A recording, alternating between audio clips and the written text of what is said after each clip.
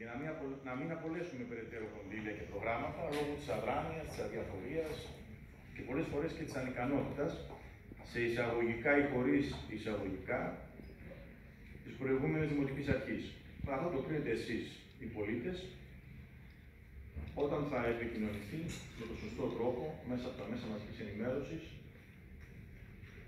και του έργου που επιτελούν αυτής της συνέντευξης και της καταγραφής των όσων παραλάβουν. Να δούμε τι είχε διασφαλίσει η απελτούσα Δημοτική Αρχή.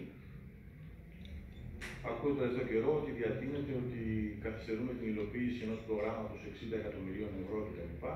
Και πέρα από το αστείο της υπόθεσης, έχει τεράστια σημασία να έχετε μια συνολική εικόνα του τι ακριβώς βρίσκεται μπροστά μας. Έχω δει όλους τους αρμόδιους υπουργούς, υφυπουργούς, γενικούς γραμματείς όλων των Υπουργείων σε έναν αγώνα δρόμο όλο αυτό το διάστημα και έχω αποτυπώσει την